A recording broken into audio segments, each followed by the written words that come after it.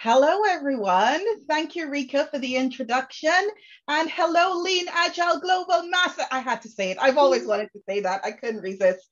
Hi, hi, hi, hi, hi, hi.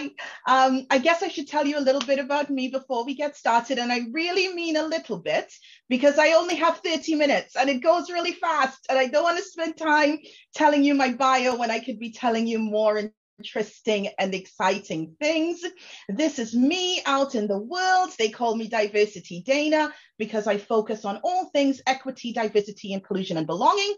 But I was not always Diversity Dana. When I moved to the UK from Trinidad, that's where I'm originally from, I worked in consultancy, helping organizations be more agile. So, in a way, I think you could say that Agile was my first love. And it's my experiences in consultancy that led to me getting interested in inclusion and doing the work to bring about equality and equity to make the world of work better for other people until it became my career. So one thing wouldn't exist without the other. I also think that when you're used to being agile and it's how you see the world, it's not just something that you can drop and stop doing and, and stop being, it stays with you. And so, what that means is that now, as Diversity Dana, I get to sound really, really smart, saying things like, why don't we ask people what changes they'd like to see instead of doing what they think is right? Or let's focus on getting a working version with all the bells and whistles that we can show to people and make sure we're on the right track. Or instead of waiting for all this to be done, why don't we build it section by section and get people's feedback? And everyone thinks I'm a genius. I blow their minds. There's rapture. Okay, there isn't rapturous applause. That only happens in my mind. But I love the blending of the two worlds. It's pretty cool. And now that you know a little bit about me, I have to address the elephant on the Zoom, which is the pandemic version of the elephant in the room. And that is this. I might talk to you while this is happening. And by might, I mean definitely will. I won't do it a lot, I promise, but it does help me to feel less alone, like I'm talking to someone. But listen, if you're not into it, if your conference experience involves you just sitting there and soaking up the knowledge, that's cool. You do that, you do you, no pressure. But if, on the other hand, you did feel like chatting back, uh, you could use the chat box because there are lots of us on today's session, and mute on mute could really bring the drama that we don't want. Um, if you're especially chatty, you don't have to wait for me to talk to you. You can just do the thing, right? Just chime in. I'll have one eye on the chat throughout. So pick your approach. There's going to be something for everybody. Just join in. So, with that out of the way, I want to tell you a little bit about why I'm here. It's a really good story.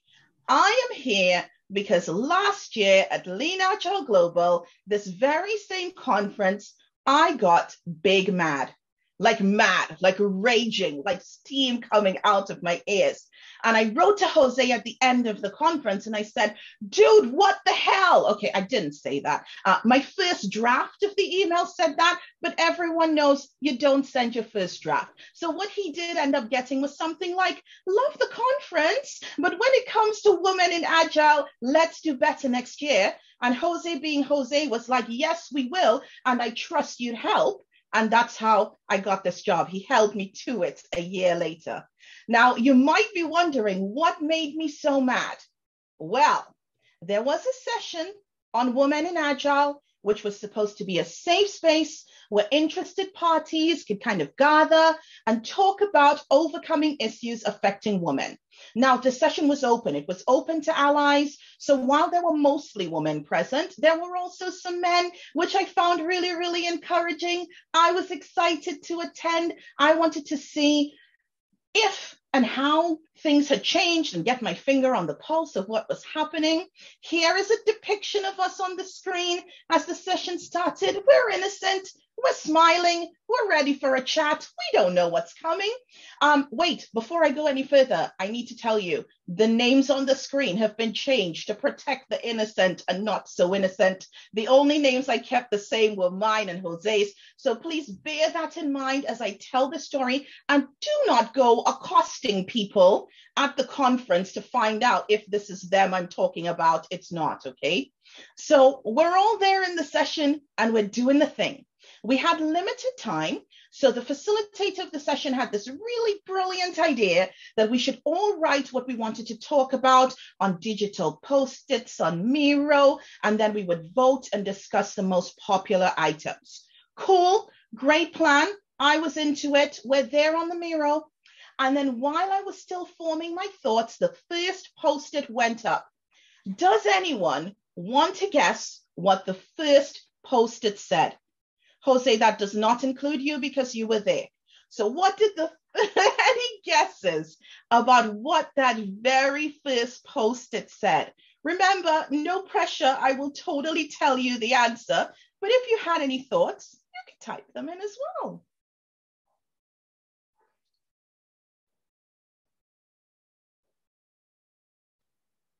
Cat, stop taking photos.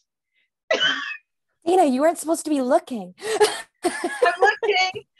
Okay, so Premolapa is like, ah, okay, we need to follow the meritocracy. Evelyn is like, why do we need this session? Ding, ding, ding, ding. Totally. That was it. I'm paraphrasing. It was like something like this. Why is there even a session like this? Is this still relevant in 2020? Is a session for women more divisive than helpful? Ma, ma, ma. Okay, you can still tell I'm a bit pissed off a year later. And I'm not going to lie, I went into my full rage fantasy at that moment. I pictured myself in a boxing ring, knocking someone out. I didn't even know who I was knocking out because it was anonymous and you couldn't really tell. Okay, fine. I lied to you. I lied. I'm going to own it. That is not my rage fantasy. This is. I mean, but how do you get a lightsaber in this day and age? You can't. I mean, if you can, someone should tell me. So I had to settle for the unreal, the more realistic rage fantasy. So this one. So I was mad. I was so mad. I've calmed down now. I promise. It might not sound like it, but I have. And I realized that we might still be in this space where we're thinking about why do we still have to think about this in 2021? And to answer, I am going to take you with me on a trip through time. Are you ready? Hold on to your horses. And listen, I had many stories and examples to choose from, but I picked my absolute favorite one. And while I'm talking, if anything resonates for you, sounds familiar, you feel like sharing something, please do. And if you don't want to, and you just want to listen, that's fine as well. So here we go, our trip through time. At some point during my career in consulting, I got promoted to manager and I had to step up officially and mold the young minds of those less senior than me in the organization, as you do, right? I took a junior consultant with me to deliver a client presentation. He had a few small bits of the presentation to lead, very exciting for him, but it was largely me speaking, right? So we explain to the client who we both are, we our roles, we outline our expertise, and we start doing the thing. So just to be clear, I have maybe three times more talking time than him in the presentation, and it's clear that I'm leading. so um, it's happening. We're doing the thing consultant, by which I mean in consulting, in a consulting firm, right? Um, and we're talking, and they would still, still address questions to him when both of us are there. And I'm using the term consultant because remember, we're going back through time. And this is literally what the guy's job title was in those days consultant. That was the job title. So I'm telling it like it is back through time. So it was like I wasn't there, right? And at the start, he would say something really, really gentle to hand over to me. Like, I'm sure Dana has the answer to that. Dana can totally answer the question for that, whatever. But the questions, they still kept going to him. And at one point, I think maybe he was exasperated or frustrated or whatever. And he said loudly and firmly, I'm a consultant. Dana is a manager. She's standing right there. Why don't you just ask? Not in an angry way, but just in a frustrated way. And I think in the moment, I was very much taken aback. I did give him some side eye because in those days, you know, client was king. Um, and I kept my smile on and it kept going. And we were leaving, and I was talking about it to him. And I will never forget. He said, Do you have to deal with this all of the time? And I said, Not all of the time, but a lot of the time. And he said, Doesn't it make you mad? Didn't. It didn't. I had gotten so used to it that it didn't even make a dent anymore, which is a bit sad. But you know what? You might not be convinced by that story. Maybe you're thinking they didn't come to me with questions because I wasn't coming across well. There was something wrong with the way I portrayed myself. It might be on me. Or you might be thinking, Dana, why have you dusted off this old story? You haven't worked in the agile space for a while. This is the past. Things have moved on since then. So let's skip ahead, shall we? Let's skip ahead. We're skipping ahead. We're back in our time machine. We're going ahead a little bit and we're skipping ahead to 2020. Let's go there. So, at the start of the pandemic, I was contacted by the leader of a team. They were based at a client site, helping the client learn to be agile. He contacted me and he said, Dana-Wan Kenobi, you're my only hope. He didn't say that. He did not. That was in my mind. What he said was, We're having some issues with inclusion. I have no idea what's happening. Can you help us figure it out? So, fine. To do that, I decided to sit down with each member of the team and find out. And some of the women on the team said things about not being heard. So, for example, I feel really underutilized, demoralized, overlooked. I have no voice. My thoughts and opinions are useless. Or there was Kate, there was Rachel, guys, names changed to protect the innocent again, right? So don't go stalking the Katies and the Rachels. I have literally stopped talking in meetings because it's clear no one wants to hear a single thing I had to say.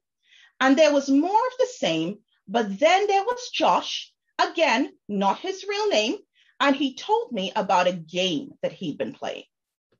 Sometimes in meetings, he would say the exact same thing that his colleague Katie had said after she said it. He started doing this because he realized that Katie had really good ideas and she was mostly ignored. And when she spoke up with her ideas, crickets, but when he spoke up with the same idea, he would get told, good idea, good initiative, sometimes in the same meetings, literally within minutes of the previous interaction. And it happened time after time, and he kept doing it, and no one noticed. He also told me about a conversation where the team was discussing who should step into a client relationship type role. And the discussion was basically that any member of the team who was male could do it. And he acknowledged that really two of the women already had amazing relationships with the client and it seemed like a no-brainer but that wasn't happening and that story should be enough to convince you but i mean i know some of you might be thinking 2020 was last year and this is a whole new year so maybe we did need to talk about it in 2020, but this is 2021. So much has happened. The world has changed. Let's move on. And to that, I say, hold on a second. Because right as I was getting ready to do this keynote, I thought to myself, Dana, you need to go and validate some of this stuff in your overall message. So I started by hitting up lots of my friends who work in the space and also some randos from LinkedIn and I had lots of discussions with them. And they mostly looked like this because they were on an evening, right? And we were chatting. And I have to tell you, sometimes it felt like I was having the same conversation over and over. But here are some of the standouts. I am going to have to read now because There I she get is. the right. Every quote is Intense. In woman who I spoke to and I'm going to share some of them, right? So here they are. The first one is at the start of the pandemic, my manager told me it will be interesting to see how you manage to get your job done now that you can't just wiggle around in your short skirts and bat your eyes to get what you want. Another one was even though the client specifically requested me on a piece of work, they fought to get my male colleague on the job instead because he was a better fit than I was, whatever that means. During the pandemic, only female members of staff were placed on furlough. They acted like we should be grateful as it freed up time for us to manage our home and childcare responsibilities. I live alone and have no children. I recently found out that I am one of the lowest paid people on my team, despite in many cases having equal or more experience and really strong and positive feedback. And side note, I really felt this one because it has happened to me, this last one. I remember when I first started doing contracting work, I got put on a job in the middle of nowhere to deliver training to loads of people. I was the only woman on the team, that was normal. And I remember we had a pretty rough day and we were in the hotel bar drinking our sorrows away when one of my coworkers made a joke like on days like this the thought of the x amount of money i'm earning is what keeps me going and we were all laughing but then i thought to myself holy sh- can't say a bad word on the zoom that's how much you're making because i was making maybe two thirds of that and before you even start with me, we had similar levels of experience and we started contracting for that company in the same week. And, and, and I had better feedback than him, client feedback. But you know what? This is not even about him because I'm pretty sure most of the guys I was hanging out with had no idea that we weren't on the same rate.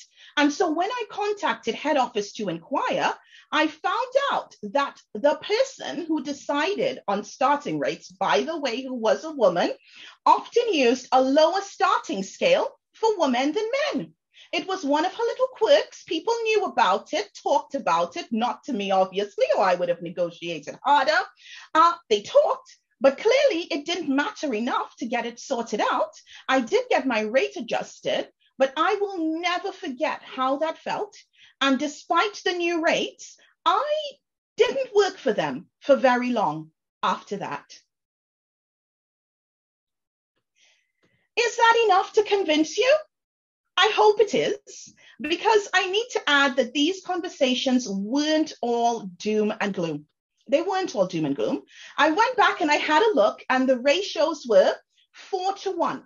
So for every sad and horrible story, I got maybe one nice one. And I've included two of these because I think, you know, we need to think about the positives as well. And one says, I'm really happy in my current team. I feel valued at work and everyone is amazing. There is great work life balance too. Don't forget to tell people that this is possible. Contracting has been a mixed bag for me. I have absolutely had some bad experiences over the years, but for me, the good has outweighed the bad, mostly because I'm now confident in myself not to stand for it when things get bad. And so I thought those were some positives that I wanted to add. Just looking quickly at the chat, I am really encouraged, really encouraged um, by people stepping up to, to share their stories. Lorna saying that uh, she found out she was being paid 30% less and was told that's the way it was and to suck it up. Um, people saying they're not shocked at all. Are we in 2021? These are shocking, right? They are shocking. And the point is that they are happening right now, right now, right in front of us. But also, here's this last quote, and I just wanted to put it in. It said, Women can be just as guilty when it comes to toxic workplaces and attitudes. This is something we all need to solve together. And I've put this one in because I agree. I agree. I absolutely agree with this. And today, I am not just speaking to men. I'm not. And I hope that you did get this, right? I said in the intro to the session that this, this isn't supposed to be a telling off, a finger pointing, a shaming, but what it is supposed to be is a chance to talk openly about, about things that are real, right? Uh, it's not even so much about who is doing the do, but it's more about how we as a collective, all people, all of us who work in this space can do better and help to solve. And listen, this is going to shock you, mostly because I look so young and fresh, but it's been 15 years since I started my career in Agile. How is some of the same stuff that was happening 15 years ago still happening now? And yes, yes, I know that some of the issues that I raised affect all people. I know that there are men being bullied at work, there are men who are voiceless at work, overlooked, not being paid fairly. And it's not men, it's people, right? Because the world isn't binary, men and women, right? So uh, correct my language. There are people outside, right? But the fact remains, the fact remains that women are disproportionately affected here. And Guess what, though? When we solve for one group, we often solve for many others. That's the beauty of this, right? We solve for a group, and those things make the world better for everyone else. And so, what am I asking? What am I asking from you? Well, I narrowed it down to five things. And the first thing is that we acknowledge that the way that you, the individual, see and experience the world is not the same way that everyone else sees and experiences the world. Like it is entirely possible to work for the same organization in the same team and have completely different experiences from someone else in that team. So just because you've never seen bullying or you haven't witnessed any discrimination or sexism or whatever does not mean that it's not happening. I can't stress this enough. It doesn't mean that it's not happening. And just because you are having the bestest time at work does not mean that everyone else is. It doesn't mean that everyone else is. And then, two, once you accept that your reality might not be the only reality, it would be really good to seek out people's other other um, experiences and perspectives. But as you seek them, listen and accept people's truth. Hear people when they're telling you what their truth is. I, I am begging you, when someone is telling you their truth, please resist the urge to play devil's advocate. The devil has enough advocates. He does not need your help. I don't know him personally, but I don't think he does, right? I mean, I think we hide behind this devil's advocate role in a lot of ways. And yes, sometimes it's great to challenge and give an opposing view, but not at the risk of silencing, invalidating, and trolling people, especially when it takes all of their strength and courage to speak up. Why do we do this? Why do we still do this? Point number three is paying attention. Pay attention. One of the biggest things I hear in my line of work is, I didn't see that. I I didn't I didn't hear that. This this team in in this place, stop. Start paying attention. Look out for signs of exclusion. Look out for unfairness and look out for discrimination. Start seeing it around you. Open your eyes. And when you do see it, act take some action to bring about change. What I'm not going to do is describe is prescribe a list of actions because actually the right action in a particular situation is something that is really nuanced and contextual. The what I'm asking, what I'm asking is that you take an action that you feel safe about that can bring about tra- change, right? Uh, I see people are loving my The Devil Has Enough advocates. That makes me smile all the time as well. Um, for the slide graphic here, I've brought back Josh from earlier, who started playing a game where he would repeat his co-worker Katie's exact point uh, to show how he was praised. But here's the thing about that story. Josh wasn't doing anything to bring about change. He really wasn't, not at all. No one was listening. He, in his own words, was playing a game, but the game had no stakes for him right? Now, if he had gotten the praise and said, Yeah, don't thank me, Katie is actually the one who just said that and you ignored it, or words to that effect, if he did that uh, to shine a light and kept doing it, so yeah, that was Katie's point, you missed it again, that kind of thing, he could have brought about some change, but he didn't. He made it into a game. And Ray says, Give up on fear to act. And that's what I'm saying, right? We have to step up. We have to start doing more, whatever that looks like for us in the context. And by the way, while I said I'm not prescribing, I would love it in general if we were more open about salary ranges so that people who struggle with negotiation like me kind of come into situations with an even footing. But you know what? I'll leave that one there. I didn't make it a point, but I just wanted to say it. And so that brings me to point number five, which is be open to different solutions. Be open to different solutions, right? This last one is really, really personal for me. And to explain it, I'm going to go back to last year's Lean Agile Global, uh, my angry situation, that same woman in Agile session.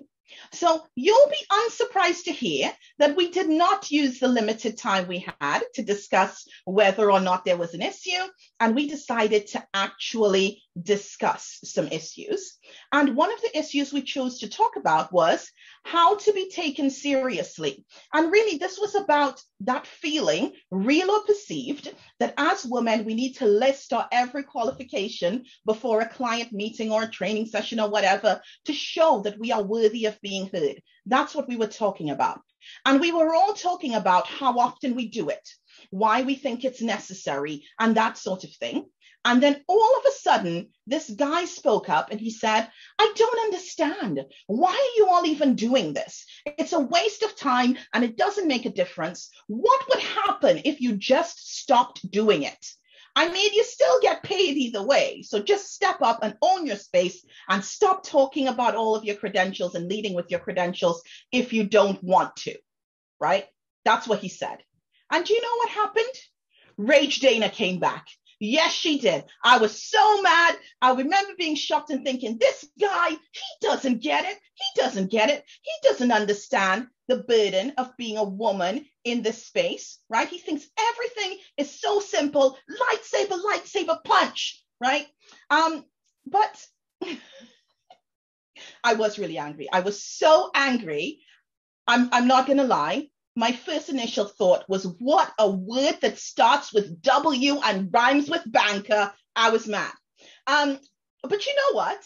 Later, when I was reflecting on the session, I kept coming back to what he said. It was like I couldn't get it out of my mind.